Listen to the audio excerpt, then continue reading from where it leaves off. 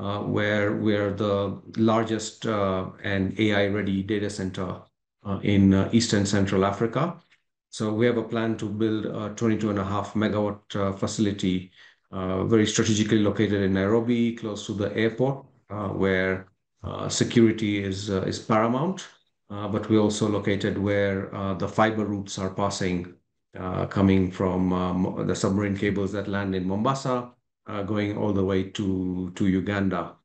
Um, so yeah, when we spoke last, we were just uh, about uh, going live.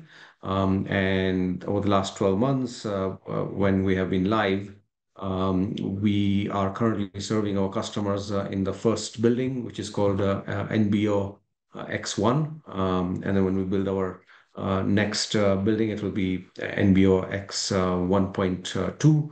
Um, and then when we go to our second site, um, that will be then uh, NBO X2, which uh, uh, is currently located in a place called Limuru, around 30 km from where we are, where we have um, 11 acres, and we have a design to build 53 MW in that facility.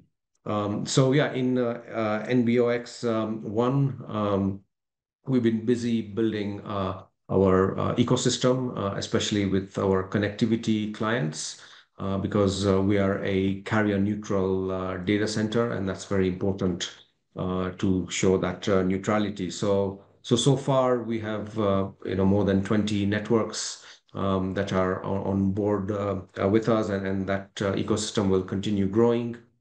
We have um, two of the largest internet exchanges with us. Uh, so one is the the Kenya Internet Exchange, uh, which is the legacy internet exchange um, uh, serving um, our country. Um, and then we were the the hub to bring LINX, which is the London Internet Exchange, which is one of the largest exchanges in the world. So they're also on board. We have been building a whole host of our enterprise clients, and we have a growing Um, uh, clientele of uh, uh, some of the financial services. Or banks that are now on board, um, which is showing the trust that they put um, into an institution like like ours for entrusting us with their IT infrastructure, their sensitive data, et cetera. And then last month, we also announced a strategic partnership with Safaricom, Uh, which is the largest uh, telco uh, in East Africa, um, where we have an ambition to jointly market to clients, where Safaricom can use its brand, its relationships with a lot of its corporate customers, um, and put them on a world-class uh, data center like like ours. Uh, and as you know, for a company like Safaricom, who is selling airtime, they're selling financial services, uh, you know, running data centers is not their uh, core business. So they've entrusted an expert like ours to do that. Um, and then um, some of the discussions that we've been having with the hyperscalers, those are now starting to come to fruition, and Um, there have been a couple of announcements of the hyperscalers coming into this market.